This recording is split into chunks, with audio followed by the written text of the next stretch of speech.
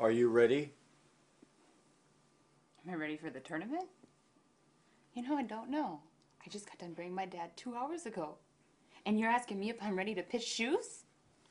What's wrong with you? What's wrong with all of you?